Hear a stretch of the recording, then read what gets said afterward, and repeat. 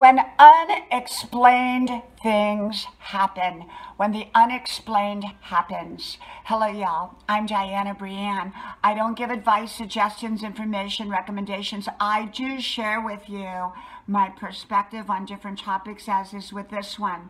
I hope you like, share, subscribe. Channel names are pinned to the top of the comment section or description box below.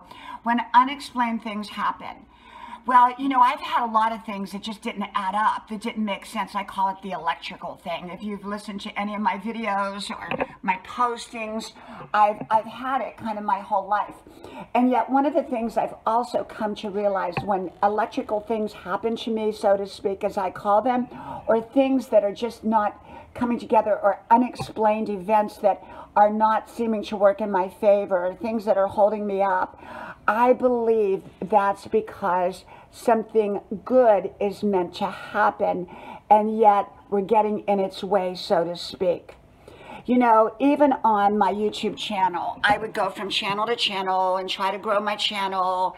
And, you know, I would try to, um, you know, go up on panels to make sure that everybody saw me and all that. I don't do that anymore um, it was just, I, I, had a number of things that kind of happened, like one of where my live stream would, would not turn off. And I know it sounds silly, and you probably say, oh, well, that could happen to anybody. And yeah, it could, and probably does, or whatever. But um, it was just a number of different things. And I said, you know what? I feel like I'm being led to let go and just do what I'm meant to do because I was trying to be on live streams all the time, trying to do my content, trying to live my in person life. And it was a lot.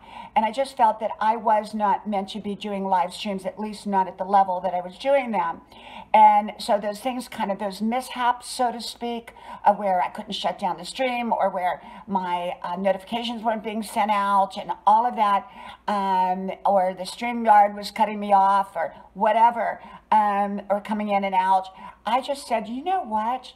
That's kind of my sign that I need to refine, my sign to refine, that I need to make some changes and let go of some things and move forward. What may have worked well in the past may not be to my best benefit going forward. There is likely something better for me and a way to do it going forward. So that was kind of a little example with my YouTube channel.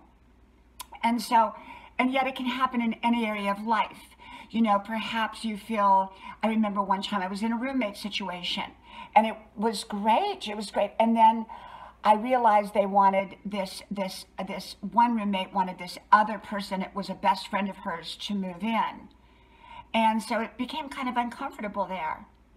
And so I ended up finding another apartment and found my own place. And I loved my new place. Something better was to come along. So beforehand, that kind of, I don't want to call it, you know, it was just kind of things were not working. And that was pushing me forward. Sometimes it pushes us just to refine and make ourselves better and go to that next level. Other times it is change. Sometimes we need to do less of something or more of something. Um, it just all depends.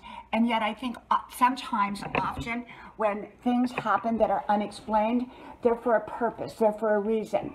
They're there to push us forwards um, or even sometimes hold us back so that we can kind of wait for our blessing. Maybe we're moving too quickly and there's other things that need to take place so that our blessing can come.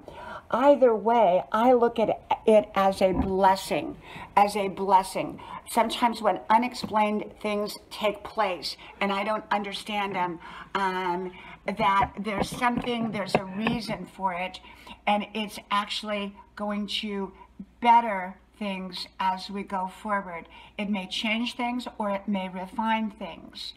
And yet, I think when unexplained events take place, there is an explanation. And often it's an explanation we may not be able to see up front. And yet, it's a good explanation. And it's something that's meant to refine us and perhaps change us or even send us in a new direction.